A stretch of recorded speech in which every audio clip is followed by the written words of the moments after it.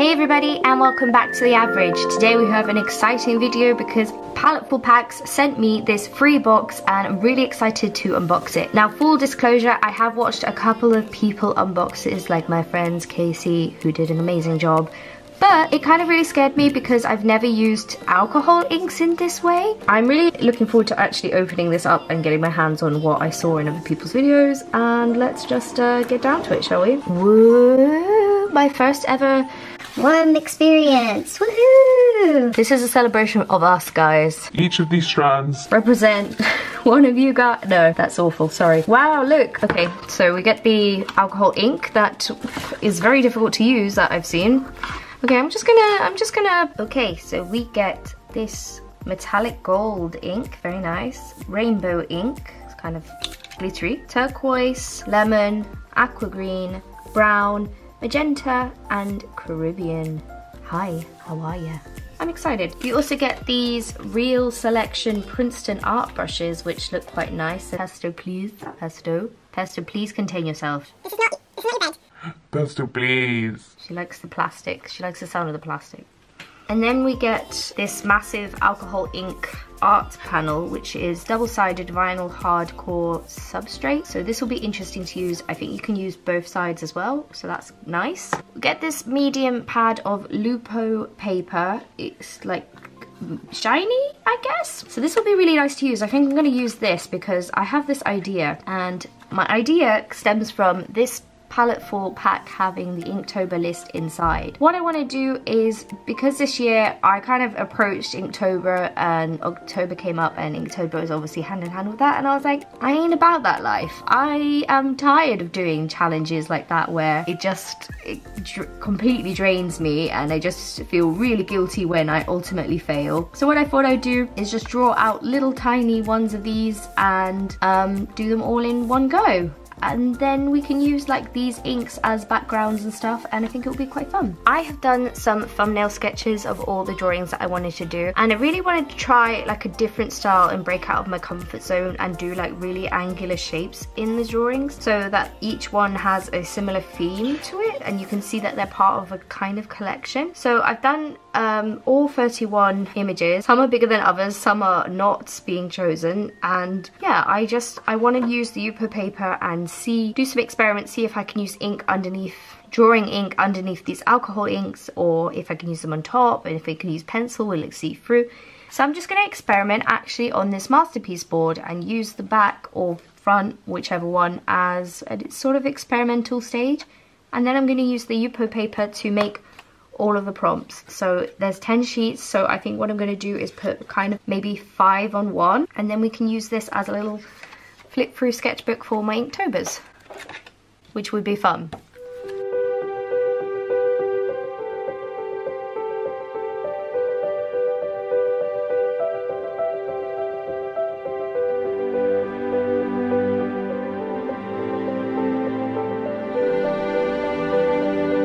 I first tried to do this, I thought I was going to use all the Yupo medium paper, but it turned out that that was a little bit more difficult to use. When I went to get the alcohol, realized I needed to get the alcohol to help me dilute the, the inks to make them work a little bit easier on this Yupo paper, but when I got them, I had this massive accident.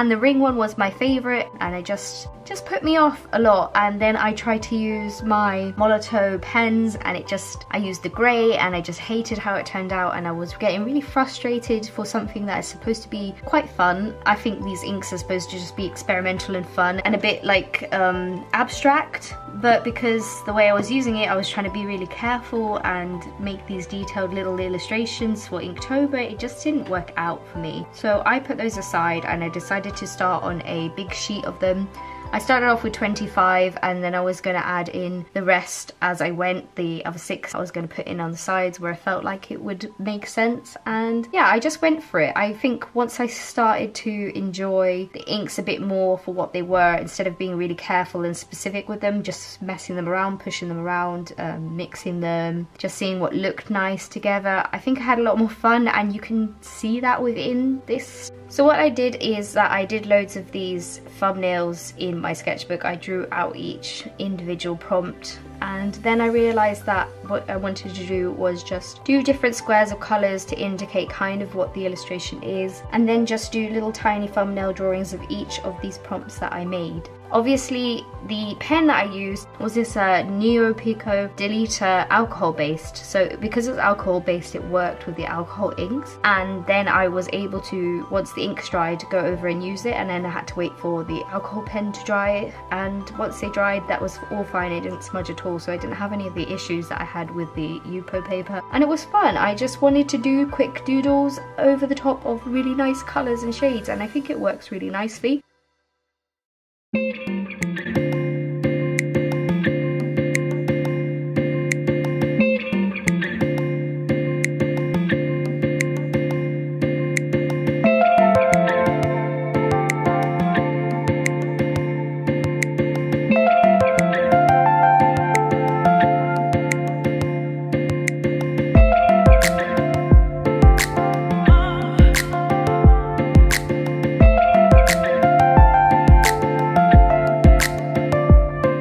So the 31 Inktober prompts are Ring, Mindless, Bait, Freeze, Build, Husky, Enchanted, Frail, Swing, Pattern, Snow, Dragon, Ash, Overgrown, Legend, Wild, Ornament, Misfit, Tread, Treasure, Ghost, Ancient, Dizzy, Tasty, Dark, Coat, Ride, Injured, Catch and Ripe.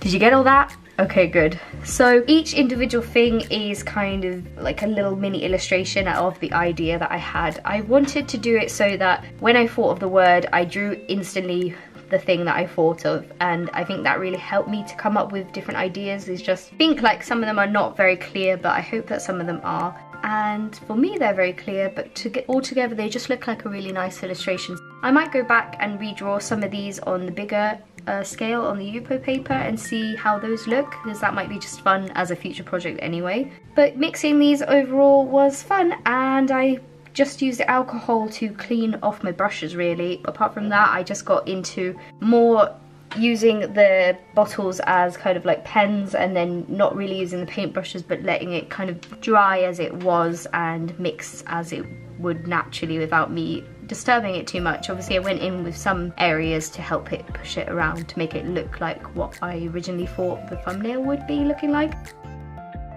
And using the pen was really nice on this surface. It felt really smooth and it just worked well. I'm glad that I found the right pen for the job and overall I really like the composition. I wish I could add um, a few more squares. I guess I wish there's more days in October but there isn't so we're gonna have to have this kind of lopsided piece. I went back in and just finished up all the little squares that I left out of it originally and that's basically it. That is the final illustration.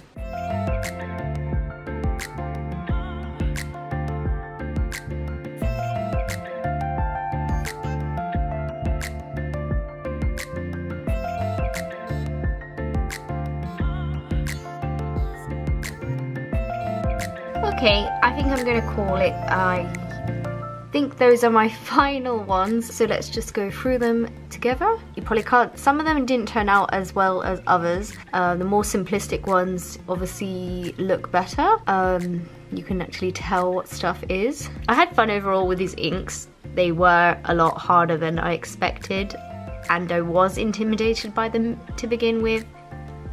But I think I got the grips of them in the end overall and I had fun making this piece. I think it looks really cute. I make fill in these blocks with just like random noodles just to make a complete piece. But there are 31 prompts here and we did it.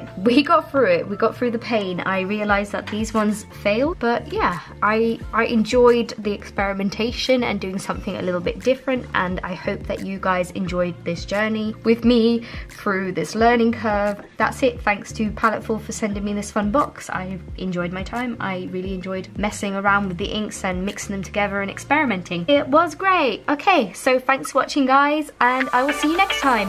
Bye!